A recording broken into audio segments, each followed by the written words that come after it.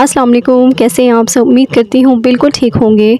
सबसे पहले आपको इस्लामिक न्यू ईयर की बहुत बहुत मुबारकबाद। ये नया साल आप सभी के लिए खुशियों भरा साबित हो, वो हो जो आप सबके हक़ में बेहतर है।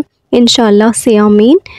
मैंने बहुत सारी पोस्ट देखी जो न्यू ईयर के हवाले से थी जिस पे इस्लामिक न्यू ईयर लिखा हुआ था। देन वहाँ के जो कमेंट्स थे, मैंने टिकटॉक पे वीडियोस कुछ देखी थी। उस पर ये कहते किस चीज़ की खुशी, क्या न्यू ईयर, क्या नया साल?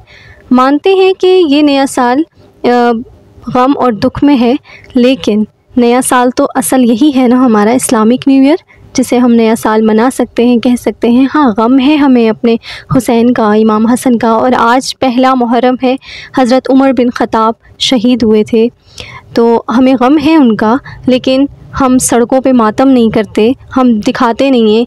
किसी भी चीज़ का कोई भी गम होता है ना तो हम दिल में रखते हैं। मैंने एक वीडियो पोस्ट की थी, उस पर कुछ कमेंट्स थे कि आप मातम नहीं करते हो तो जब आपके वालिद साहब जब इंतकाल कर जाएँगे घर का कोई करीबी तो आप तब भी मातम नहीं करना। तो सॉरी टू से मैं यही कहूँगी कि हमारे इस्लाम में भी नहीं है कि अगर कोई फौत हो जाए तो आप उसमें मातम करो, या ऐसा कुछ नहीं। तीन दिन सोख के ज़रूर इस्लाम में कहे गए लेकिन मातम नहीं कहा गया है। मातम का कोई अकीदा नहीं है, कहीं हदीस मुबारक में नहीं है। सो, इस चीज़ से परहेज़ कीजिए। हर आँख नम होती है मुहर्रम पे, आँसू, शिया या सुनी नहीं होते। तो बस मुहर्रम का एहतराम कीजिए, और गम हुसैन है। तो दिल में रखिए, सड़कों पे तमाशा ना कीजिए। और अल्हम्दुलिल्लाह, हम सुन्नी हैं और हमें फ़ख्र है।